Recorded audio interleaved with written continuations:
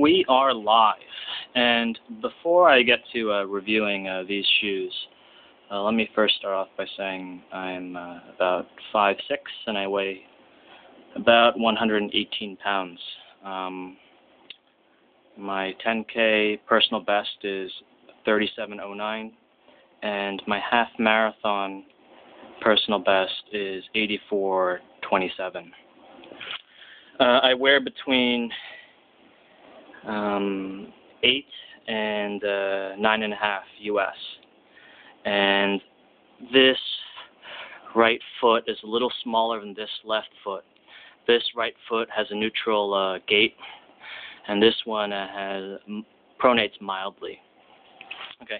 The reason why I'm making this video is because I actually just bought this pair of uh, Lunar Elites today, and the reason why I bought this pair of Lunar Elites today was because I uh, injured myself uh, last uh, Sunday in these. These are the um, uh, Mizuno Wave Elixir 4s, and these, in fact, are of all of these shoes, um, are the cheapest.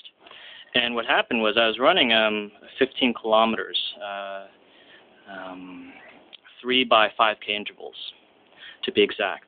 And what happened towards the end was my gait was very sloppy, and uh, as my gait started to sag, this uh, part over here kept striking the ground, and um, it was really annoying. I um, I could feel it, and I could feel that this wasn't going to uh, help my uh, ligaments at all. This uh, repetitive striking, and at last, I I felt something snap over here, and I think I strained my hamstring. So I realized that these shoes uh, were pretty unreliable. I should have uh, uh, performed more research before buying these shoes. These were about 560 Hong Kong dollars, and um, I don't recommend them because uh, over long distances, um, as your gait sags, uh, this uh, heel compartment starts to strike, and um, that puts you at risk of injury. So I don't recommend these um, Wave Elixir 4s.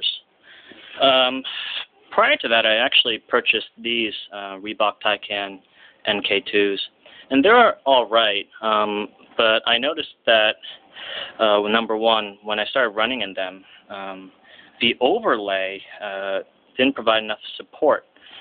So when I was running, this overlay part would start chafing against um, my right foot, and that was bothersome. Uh, in addition, when I started running on my toes, I noticed that um, well, I started to chafe over here as well. Uh, some hot spots over here by my toes. So there's not really much support over here uh, in the toes uh, when you're running on them. And uh, in addition, the overlays don't provide enough uh, well support to keep this part from imploding on your uh, on your feet. So again, with these two pairs, I I need to do more research next time. Um, that's that's the lesson that I learned. Um, these Nike Run Avants, I actually just purchased a few weeks ago, and I heard good things about them on um, Runner's World. Um, and when indeed when I put them on, I was really impressed by the uh, lunar foam, this lunar light foam, uh, foam, and uh, wow, what a really soft ride um, in these shoes. Uh, however, after I put about like 50 miles on them, I started to notice um, pain in my uh, right toe. It felt as though uh, my toe was broken, in fact. And I was like, what's going on here? And then I started to realize that something was going on with these shoes. And as you can see over here, the shoes, the upper part is actually imploding. It's as this part uh, as this part of the overlay starts to collapse on itself as I tie the laces tighter, the overlay starts to implode. And um, as a result, I can show you over here. There's this part over here, the side of the shoe, that juts in, and it kept chafing this part of my toe. And obviously, uh, naturally, over uh, the course of several miles, uh, dozens of minutes, uh, it starts to hurt. So, uh, small wonder after every run in these shoes, uh, with you know the toe box imploding uh, and the rest of the overlay just kind of uh, falling in upon itself, it would feel as though this part of my toe was bro- uh, was broken. So um, I knew something was wrong, uh, and as you can see, you know, there's not much overlay support here. Uh, it just falls in basically on itself. So at last, I really did my research, and um, I was very diligent in um, trying to find a shoe that would offer the same kind of cushioning, but would provide more support over here, uh, particularly so the toe box wouldn't collapse upon itself. So I ended up buying these Lunar Elites, and the, the this pair is actually the most expensive out of all of these uh, shoes uh, that I'm reviewing. And these Lunar Elites cost about 100 US dollars, but I think it's money well worth uh, spending because the overlays here, you can see the overlays here um, protect the toe box. They actually protect your uh, your toes from the toe box uh, imploding like like this.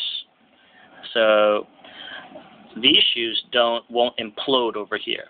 In addition, the overlays over here, um, this this particular overlay over here, um, this thing that surrounds the laces also provides structure for the shoe. And the Flywire definitely uh, provides, again, the support that this part of the shoe needs so it won't fall in like uh, the Nike Run Avants.